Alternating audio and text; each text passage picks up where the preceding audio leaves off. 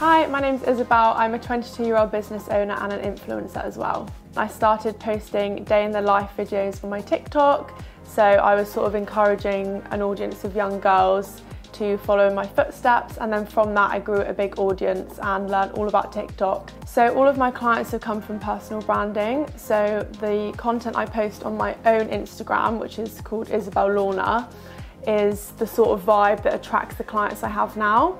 So that's how people find me and then they seem to figure out I have an agency and then they want to work with me. The way I've been able to power through and keep going is kind of like a sink or swim mindset um, when you're on your own and you're running your own business, if you don't do it, no one else is going to do it for you. You're the only person that can do it. You need to be proactive, start your own accounts, make a travel page, go to the local cafe and offer to run their Instagram for free. Always follow your passions. That is my biggest piece of advice I give to young people.